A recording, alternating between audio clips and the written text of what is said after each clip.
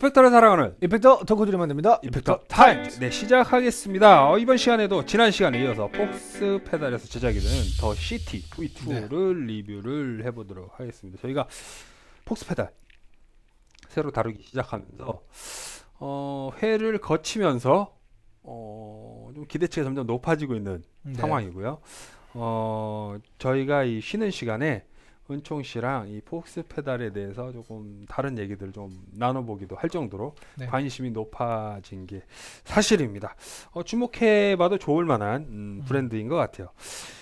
전설적인 Tube Screamer의 다이나믹한 사운드는 많은 연주자들에게 영감과 만족도를 선사했습니다. 새롭게 출시된 The City V2는 단순히 Tube Screamer를 더욱 좋게 만든 복각 페달은 아니다라고 얘기를 하고 있어요. The City V2는 연주자의 표현력을 더욱 극대화하기 위해 clipping, flat, presence 스위치를 장착해 더욱 세밀한 tone making이 가능하며 Foxpedal에서 수작업으로 제작되는 MOSFET이 적용된 Ebenezer 부스터가 내장되어 더욱 극적인 톤을 제공을 한다. 저희가 지난 시간에 다뤄봤던 Kingdom V2 같은 경우도 boost 페달이 달려 있었는데 은총 씨께서 Ebenezer가 그대로 들어가 있는 것 같다라는 표현을 해주셨거든요. 이번 시간에는 진짜 들어가 있어요. 근데 제가 판단할 때는 지난 시간에 이제 설명상에는 안 적혀 있었지만 Kingdom에도 어, 같은 부스터가 내장이 되지 않았나라는 생각을 가져보게 되네요. 일단은 컨트롤부터 설명을 드리도록 하겠습니다. 저는 9V DC 정렬 어댑터로 전원을 공급을 합니다. 한 개 인풋과 한 개 아웃풋을 제공하고 있고요. 드라이브, effect의 드라이브량을 조절합니다. 톤, effect의 톤을 조절합니다. 레벨, effect의 볼륨을 조절을 합니다. boost, boost 양을 조절하고요. body, effect의 저역대를 조절을 한다라고 하네요. toggle이 3개가 달려 있는데요. 어, clip toggle, MOSFET이 톤에 관여할지를 선택을 한다. flat toggle, mid focus를 조절한다. presence toggle, 고음 주파수 대역을 조절을 한다. 아, 라고 되어 있습니다. 이 Foxpedal의 특징인 것 같아요. 이런 toggle을 가지고 네. 어, 다양한 모드, 다양한 사운드 영역을 만들어내는 것이 특징인 것 같습니다. 일단 clean 사운드 먼저 들어보도록 할게요. 네.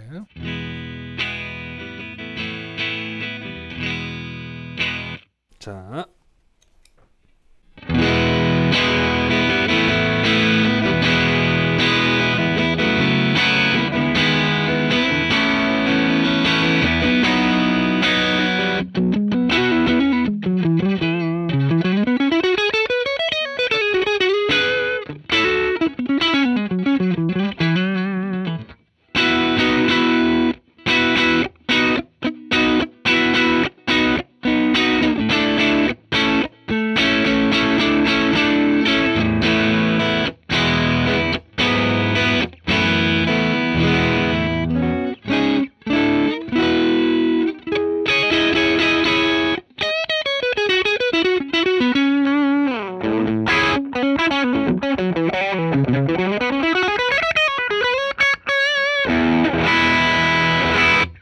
역시나 음. 어, 이 The City V2에도 동일한 시그니처 사운드가 적용이 되어 있네요. 이 Foxpedal만의 이 높은 high 음역대와 어, 이 comp가 걸린 듯한 사운드가 그죠. 그대로 적용이 되어 있고 이 high가 세고 comp가 걸린 듯한 Tube Screamer 사운드라고 네, 표현을 네. 하면 될 정도로 이 시그니처 사운드가 분명히 있네요. 네, 그런 것 같네요. 어, 그런 사운드가 있습니다. 저희가 어, gain량을 좀 더 높여 볼게요. 볼륨 좀 줄일게요. 네.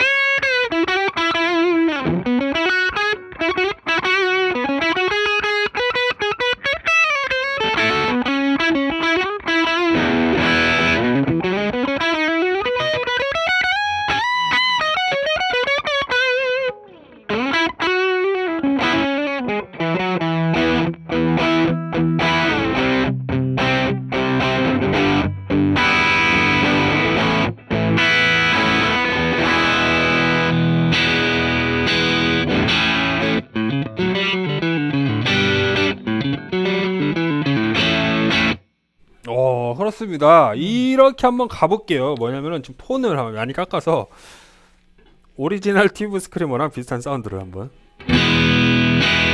지금도 모자라네요. 톤을 더 깎아볼게요. 네. 이제 어, 좀 그러네.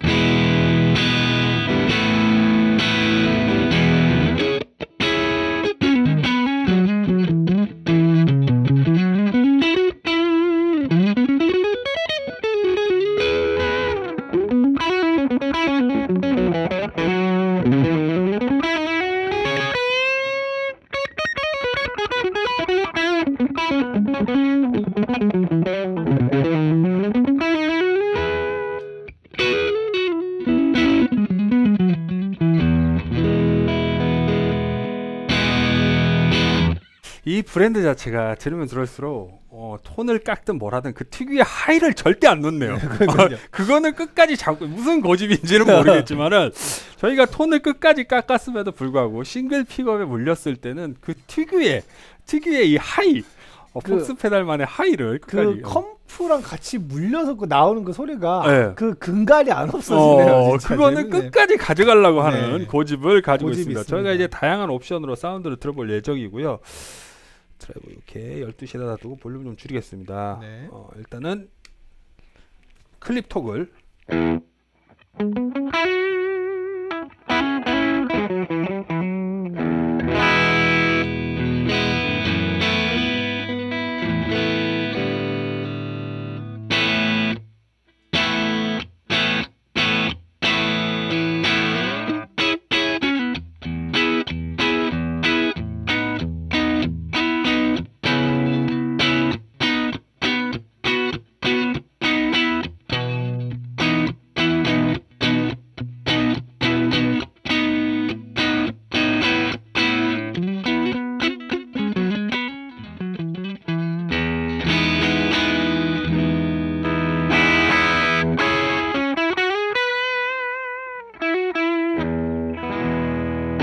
자 플랫 토그를 한번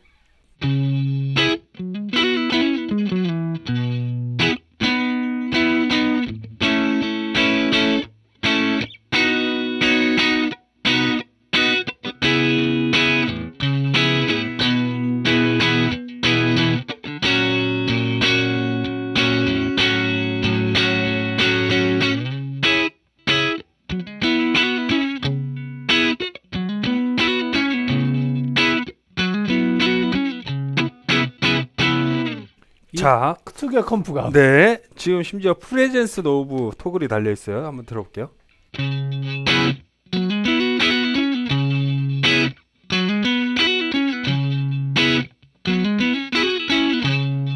이 집의 high 맛집이다. high 맛집. 근데 칭찬해주고 싶은 거는 빡 찌르는 느낌은 안 들고 좀 네. 기분 좋게 음. 이쁘게 좀 들리게 하는 것 같아요.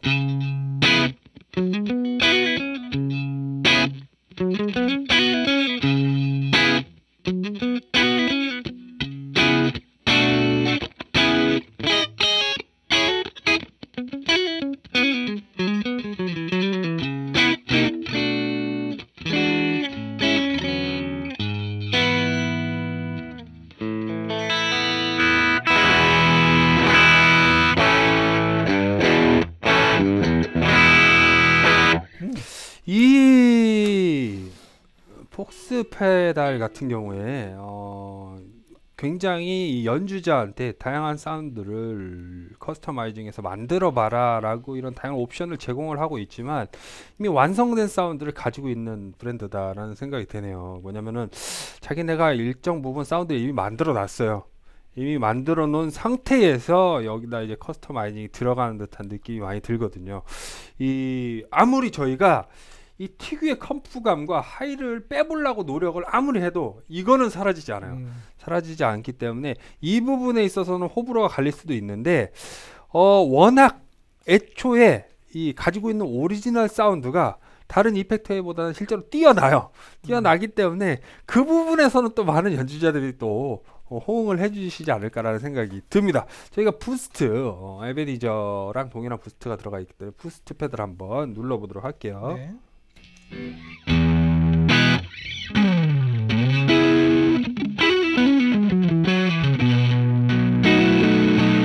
오 이러니까 약간? 그 약간 저기 그 스티브를 해본 것 같아.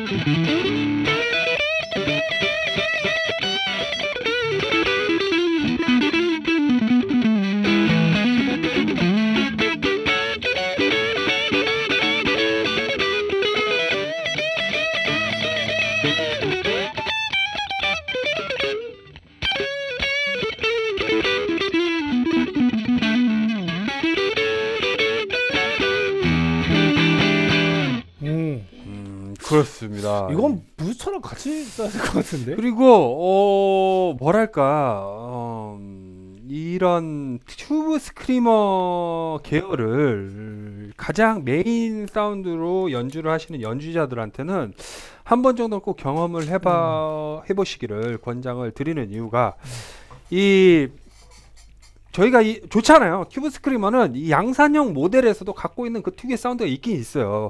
그 사운드가 워낙 좋기 때문에 많은 연주자들이 선택을 하는 것 같은데 이 항상 느끼는 거지만 좀 답답한 부분이 있어요. 조금만 더 나와주면 좋겠는데 아니면 조금만 더 시원했으면 좋겠는데 물론 그게 Tube Screamer의 특징이다라면 할 말은 없지만 음. 그런 부분에 있어서 일정 부분을 해소를 했다라고 설명을 드리고 싶고 약간 이런 걱정도 돼요. 이 친구를 계속 다루다가 다른 드라이브 일반적인 Tube Screamer나 다른 드라이브를 다뤘을 때 이 특유의 컴프감과 하이가 사라지게 될 거란 말이에요. 음. 그러면은 뭔가 어, 어색하게 느껴지지 않을까라는 음. 우려도 조금 있는 것은 사실입니다. MSG가 많이 가미된 정말 맛있는 음식 같다라는 생각이 네. 드는 페달이었어요. 은총 씨 먼저 CT V2에 대한 한 줄 평을 주신다면?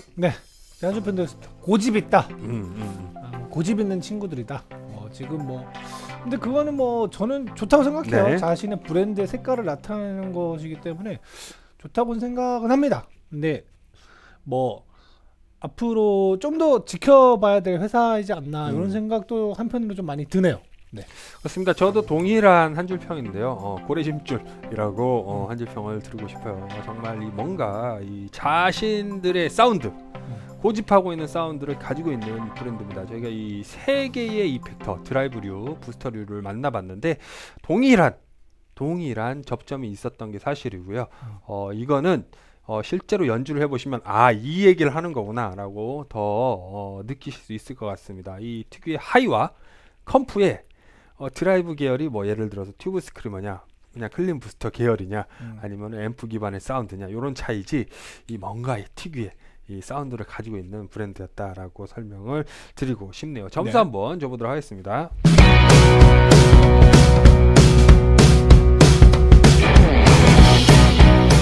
하나, 둘, 셋. 8.5, 9.0. 어, 역시나 높은 점수를 받아갑니다. 저는 이런 생각을 가지고 있어요. 이 다뤄 보면서 음. 지금 V2예요. 킹덤도 그랬고 이런 네. 더 시티도 그랬고 V2가 나왔는데 좀 죄송스러운 얘기지만 V3를 좀 기대하게 됩니다. 네. V3가 나왔을 때 아마 저랑 은총 씨가 어, 그 특유의 감탄사를 연발을 음. 하면서 어, 강력 추천을 하지 않을까라는 모습이 좀 그려지는 시간이었다. 네. 다음 시간에는 어, 이 폭스 페달에서 제작이 된 공간계들을 만나보도록 하겠습니다. 많은 기대 부탁드리면서 이 시간 마무리 짓도록 할게요. 이펙터를 사랑하는 이펙터 덕후들이 만납니다. 이펙터 타임즈. 네, 다음 시간에 뵙겠습니다. 감사합니다. 유튜브 구독과 좋아요는 우리에게 큰 힘이 됩니다.